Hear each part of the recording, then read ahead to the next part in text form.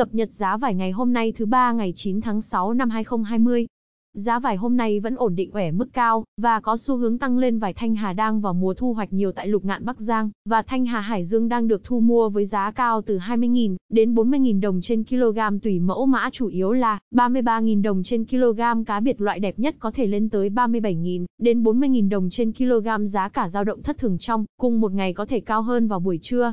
Đặc biệt mấy hôm nay vải Thanh Hà thương lái tranh nhau mua hết từ rất sớm, dù thương lá Trung Quốc còn chưa xuất hiện nhiều, vải u hồng, vải u trứng trắng, vải trứng gai, trứng lì, tàu lai đã vào cuối đợt thu hoạch, nên giá thấp chỉ còn từ 10.000 đến 16.000 đồng trên kg.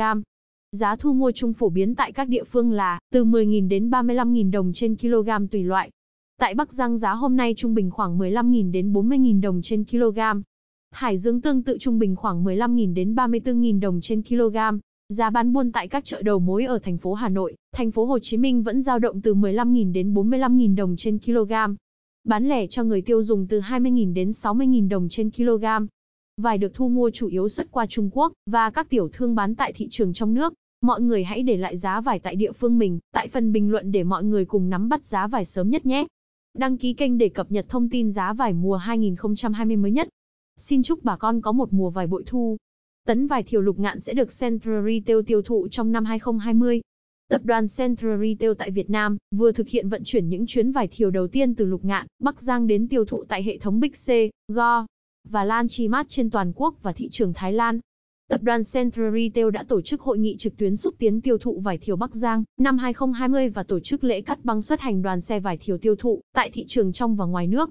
Theo đó, đoàn gồm 5 xe container 20 feet chở vải thiều lục ngạn, Bắc Giang đã xuất hành đến hệ thống siêu thị Big C và Go. Ở khu vực miền Nam, miền Trung, miền Bắc và xuất khẩu sang thị trường Thái Lan. Đây là hoạt động mở màn cho các chương trình quảng bá nhằm giúp nông dân đẩy mạnh tiêu thụ trái vải thiều năm 2020 trên toàn bộ hệ thống siêu thị Big C và Go thuộc tập đoàn Central Retail.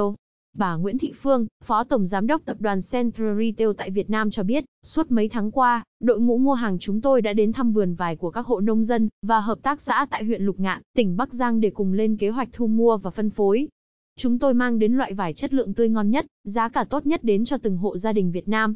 Trái vải được mua trực tiếp từ nông dân với chất lượng cao nhất theo thị trường, tại thời điểm thu mua, qua đó góp phần định hướng giá cả cho mùa vụ. Dự kiến, mùa vải năm 2020, hệ thống Big C và Go trên toàn quốc sẽ tiêu thụ khoảng 1.000 tấn vải lục ngạn, Bắc Giang, gấp 3 lần sản lượng tiêu thụ vải năm 2019. Đây là lần đầu tiên Big C giới thiệu sản phẩm vải thiều lục ngạn của Hợp tác xã Nông nghiệp Sản xuất và Kinh doanh Dịch vụ Tổng hợp Hồng Xuân, đạt chứng nhận OCOP 4 sao, đạt tiêu chuẩn Việt Gáp, có truy xuất nguồn gốc và chỉ dẫn địa lý lục ngạn. Thay vì khuyến mãi, hoặc giảm giá, lần đầu tiên hệ thống Big sẽ áp dụng mua một tặng một bó vải, nhằm kích cầu tiêu thụ, đồng thời đảm bảo giá bán tốt nhất giới thiệu tới khách hàng một số món ăn và thức uống được chế biến từ trái vải như chè vải rau câu, chè vải hạt sen, thạch rau câu vị vải, kem mút vải, bánh flan vải, nước trái vải, vải chiên xù và bánh rán mặn nhân vải, góp phần mang đến cho thực khách nhiều sự lựa chọn hơn. Năm nay, Central Retail tiếp tục xuất khẩu vải thiều lục ngạn sang Thái Lan, trưng bày lên quầy kệ của hệ thống đại siêu thị Taps, Central Food Hall trong chuỗi kinh doanh bán lẻ thực phẩm của Central Group, để giới thiệu đến người dân thủ đô Bangkok, Thái Lan.